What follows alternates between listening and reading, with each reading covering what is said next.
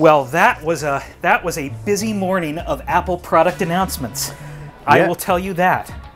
My fingers, oh, they're still oh, they're sore from all the typing. Numb from the typing. All the typing and all the product announcements. So they announced a lot more than just the iPad Mini, though. Yes, Apple said they had a little more to show us, and they they they had a lot more to show us. Act- Yeah. actually. Obsoleted this thing. Yes, your poor your poor third I- generation iPad. I just got this. it's no longer the new iPad, No. as Apple would call it. I just- People like myself who promised our, our wives that we were going to get an iPad and then forgot to get it, now we look like crafty uh, crafty Uh, shoppers crafty at last. consumers, right? Yes. Yeah. So they also introduced the the seven or the seven point nine. inch, Right. The more i- like an eight inch. The iPad Mini, yeah. Yeah. For for the marquee announcement that everyone was was expecting, a little bit. I will be honest, a little bit. eh, a little lame. Uh, well, I wouldn't lame. Lame. would- No, a little lame. You Well- say it's a little lame. I'm surprised it's 329. Yeah, the the price point I think is something that that is, took a lot of people by surprise. I think It's huge. many Like, people were expecting like maybe 75 bucks cheaper, I 250. thought 250 for more sure. competitive with uh, with the likes of your Kindle Fires and your So Kindle Fire, your Nexus, Nexus 7s, 7s, right. they're all 199. Right. Is, is the entry point for those things, and for 16 gigs as well. So Mm-hmm. it's not like they're giving you more. They made it. Apple made a big deal about how it's a much nicer tablet, and I'm sure that'll be fine. And I'm sure they'll sell a whole bunch of these because hey, it's a cheaper iPad. It Mm-hmm. is definitely a cheaper iPad, and people want cheaper iPads. Our friend and colleague uh, Chris Breen drew the comparison to the iPod Nano, which was when it was first introduced, a little bit pricey. At 250, Apple would have sold like, uh, Apple would have stopped people from buying Kindle Fires and Nexus 7s. At 329, I don't think they do. I think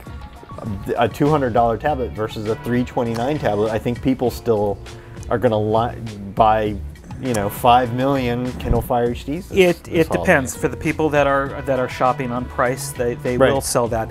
I think Apple, after a dozen years of covering this company, Yeah. they they really don't do the, the race to the bottom on pricing. They No. have their price point and they have their market of people who want to pay I that price expected they were going to come in 50 bucks more, be more expensive, but like 50 bucks more expensive, where you'd go, oh, I'll pay a little more for the better For- thing. Sure.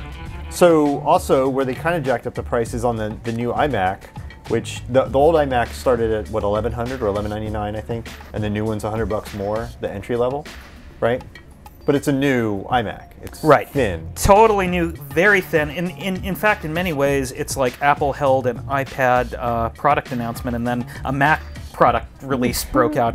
Because really, uh, It is. the iMac to me was the, the most eye catching of the announcements because my goodness, that iMac looks like it needs to eat a sandwich or two. In, in a way, for, for the, the viewer at home might look and say, here is the old iMac, sort of pleasingly plump, but you know, getting a little long in the tooth, hadn't been updated since May 2011. Here's the new thin iMac. Look at that. The- It's- it's- I it's a want to say it's 44% thinner, eight pounds lighter. Well, my all right, so 44% on the edge. Yeah. It really balloons up in the middle. Well, the back, because you have to get the- you have to get those gonna- parts in there But somewhere. Mm-hmm. they have good parts. It's it's a full Ivy Bridge Core i7s, uh, Kepler NVIDIA GPUs, Mm-hmm. you know, GeForce uh, 640s, which would play any modern game. So they didn't leave out those Mac gamers, which I, I was worried that they did. Mm-hmm. They uh, did leave out those Mac gamers on the new the new uh, MacBook.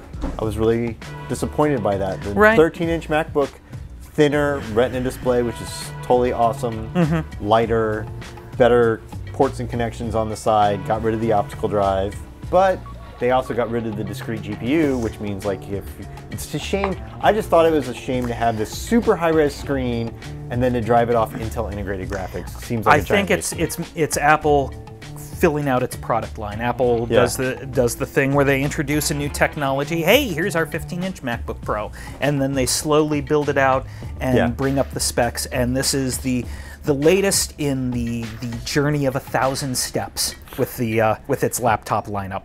Of course, Mac Mini also introduced today. Not Yeah. as eye-catching, looks the same except for the USB 3.0 ports. And if you you can a lot spot of them, four of them, yeah. Yeah, four But of 'em. That back of that thing is just loaded with ports. Yes, but otherwise looks about the same as your your, your older version. The, Yeah. the the true the true beauty lies within, as so many things in life, with the uh, with the faster uh, Core i5 and Yeah, uh, Core i7 i7s. processor for Yeah, the uh, more storage, for the more expensive one. Yeah. I think that product, when Intel releases new chips next year, that that version of that product is going to be a killer home theater PC. Um, the the much more powerful graphics coming in Intel's next generation of chips, and when you stuff those in a little $600 box, you know Sure. that's going to be awesome. Sure. I'd love buying one of those.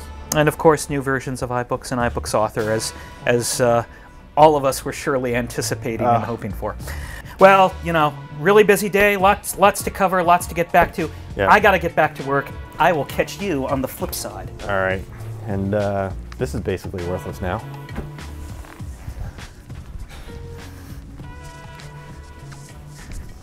Yoink.